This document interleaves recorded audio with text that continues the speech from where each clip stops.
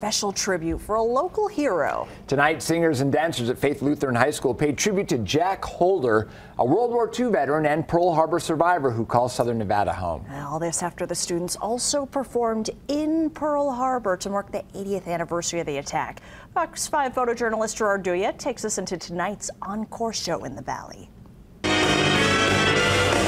It's incredible. It's a feeling I can't describe. You know, We've been prepping for this since the summer and got a taste of it at Pearl Harbor this December when we got to, you know, see some of the veterans we were honoring in person and it was incredible. And tonight to have the opportunity to do it again for people like Jack and other people in the area, it's incredible and I'm just so honored. Knowing that, that I have the opportunity to perform instead of a, in, in front of us such a great audience, including Jack Holder, just purely amazing. Survivor of Pearl Harbor, 100 years young. Ladies and gentlemen, can I ask you to rise and honor our guest this evening, Mr. Jack Holder. I've seen, uh, seen a lot of joy in the, our younger generation.